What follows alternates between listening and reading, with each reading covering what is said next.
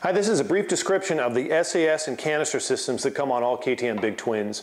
Uh, the purpose of this video is to better explain to you exactly what these things are and what they do, and so you can understand uh, our descriptions in our store uh, when you're looking at various stage SAS kits. So we have SAS stage 1, 2, 3, and various other kits. Uh, the higher the number, um, the more comprehensive uh, the kit, the more uh, plug and play, so to speak. So we're going to get through this as quick as we can. we've got other videos that show you the complete complete um, how-to removal on these pieces. Um, but we're going to explain to you exactly what they do. Uh, we get a lot of calls at Rottweiler Performance, you know, what is the SAS, what does it do, why do people remove it? Uh, we have to stress that this is an EPA thing, um, and it should be noted that this is an off-road use only modification. Uh, so what this does right here is um, this whole system right here, this is the, the entire SAS system. And it, what it does is it injects fresh air into the exhaust system to light off the catalytic converter a little bit quicker. If you have a bike where the catalytic converter is in the exhaust and you're running an aftermarket exhaust, there is no point in having this on the bike anymore. And people get rid of them because it's dead weight. You know, between these two, it's about four pounds of dead weight. Um, and it clutters up your engine and it also causes some burbling and gurgling on decel. So people just want to get rid of these. So when we mention SAS block off plates, it's basically a plate that covers this when you unbolt this from the side of the engine. So it sits like this. You unbolt these guys, and you bolt our SAS plates right on the side of the engine. They're nice billet anodized black uh, with our logo in them. Uh, and some of the other kits uh, have a, a plug uh, for the airbox. So when you unplug this from the airbox, so you're not drawing dirty air in there, unfiltered air, we have a little aluminum plug and a spring clip that goes over that, uh, that covers that up.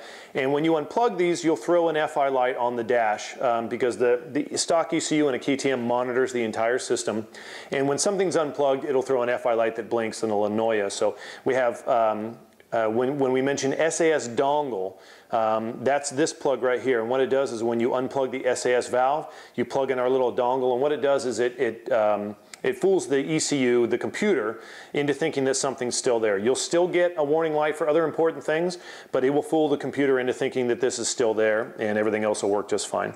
This has no bearing or effect on power whatsoever. It doesn't change, add, decrease power whatsoever. It's just a bunch of junk that people want to get rid of and clean up the look of their engine. Uh, some of the SAS plates on a, uh, a 1290 Super Duke that we have here or 1190, you can see them uh, from the side of the bike and, and the, they really clean up the look of the engine. They make it look very nice.